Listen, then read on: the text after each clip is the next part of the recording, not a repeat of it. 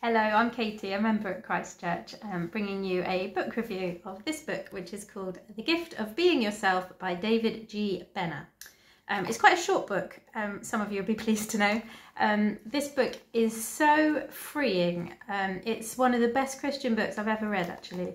Um, do you ever feel like you are weighed down and exhausted from kind of keeping up appearances, from um, pretending to be something you're not, maybe not in a in a large way, but just putting on a, a facade um, or something like that. Um, David G. Benner calls that um, your false self. It's a, it's a term we throw around a bit in Christian circles, um, and he um, unpacks how we can discover what our false selves are, how we can shed those false selves, the pretense, the kind of facade that we put up, um, and really get to discover who we are as individuals, um, rooted in our um, salvation um, in, by Jesus.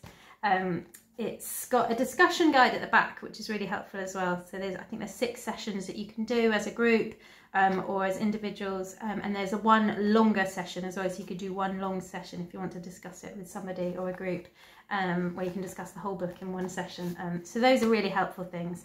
Um, particularly, um, he focuses on how we can know God better by understanding ourselves. So it is, although it's about yourself, it is really Christ-centered um, and it is incredibly freeing to know that we are ourselves as individuals with all our weaknesses and flaws and our gifts um, and how we can discover that um, and better love and serve God through understanding that. Um, there it is, The Gift of Being Yourself by David G. Benner.